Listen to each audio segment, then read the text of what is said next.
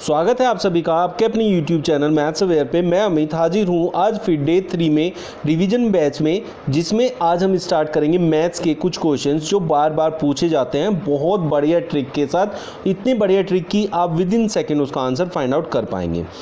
First question के साथ start करते हैं, जिसमें आपसे पूछा है seven plus two root ten का वर्गमूल क्या है? मतलब इस पूरी संख्या का भी वर्गमूल करना है और उसकी क्या वैल्यू आएगी वो आपसे पूछी है। तो ऐसे क्वेश्चंस को अगर करने जाएँ तो बहुत डिफ़िकल्ट सा क्वेश्चन लगने लगता है। तो ऐसे क्वेश्चन में मैं आपको एक ट्रिक समझाता हूँ। इस दस के आपको फैक्टर करने हैं और फैक्टर करने के साथ साथ आपको जैसे यहाँ दो पंजे दस होता है एक इंटू दस भी दस होता है, दस इंटू एक भी दस होता है। ऐसे फैक्टर्स का पेयर लेना है जो इस संख्या को बनाता हो जोड़कर। अगर यहाँ बीच में प्लस है तो। ऐसा जो पेयर है वो ये है, दो और पाँच। तो इसका मतलब जो इसका वर्गमूल होने वाला है, वो दो और पाँच के साथ होने वाला है और बीच में प्लस है तो प्लस आएगा, लेकिन ये दोनों वैल्यू रूट में लिखी जाएगी। अब आप इसको रूट पाँच प्लस रूट दो भी लिख सकते हैं या फिर रूट दो प्लस रूट पाँच भी लिख सकते हैं, जैसा आप चाहें। ये वैसे लिखा जाएगा। फिर अगर ऑप्शन में ये दिया है तो ये आपका आंसर है, ये दिया है तो ये आंसर है। ऑप्शन पे डिपेंड करता है, जब ऑप्शन में दिया होगा जो भी, वो आपका आंसर हो जाएगा। मीन्स दोनों वहाँ पर होने चाहिए, पाँच और दो। सेम क्वेश्चन हमने लिया है। अब जैसे यहाँ पंद्रह है तो हमें पता है तीन पंजे पंद्रह होता है। तीन और पाँच का सम जो होता है, वो आठ भी होता है। इसलिए हम तीन और पाँच लेंगे। तीन प्लस पाँच और दोनों को रूट में लेंगे तो ये इस पूरे का वर्गमूल होकर आंसर आएगा। या फिर रूट पाँच प्लस रूट तीन भी आप लिख सकते हैं। ऐसे क्वेश्चन में अब आप यहाँ देखें, जो यहाँ ये वैल्यू लिखी है ना, इसका मतलब होता है क्यूब रूट क्यूब रूट का मतलब होता है कि हमें इसका घनमूल करना है। घनमूल करने के लिए पहले आप इस संख्या को सोल्व करेंगे। इस संख्या को सोल्व करने के बाद जो आएगा, उसको आप लिखेंगे। 125 की चार में पहले मल्टीप्लाई होगी और ये 12 प्लस होगा, ऊपर वाला ये प्लस होता है। 125 जो कि 500 होता है और प्लस 12 करेंगे तो ये बन जाएगा 512 डिवाइडेड बाई 125 अब इस पूरे का क्यूब रूट करना है। क्यूब रूट करने का मतलब ऐसी संख्या जिसको खुद से तीन बार मल्टीप्लाई करके 512 आता हो, वो होता है क्यूब रूट।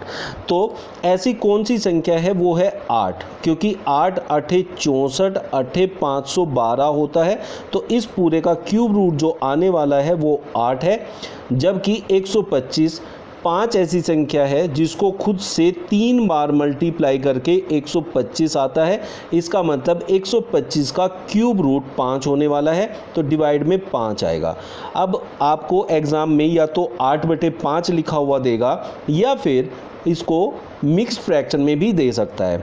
वो क्या होता है कि हम आठ को जब पाँच से डिवाइड करेंगे तो पाँच एकम पाँच, और यहाँ जो आपका शेष बचेगा उसको यहाँ रखेंगे।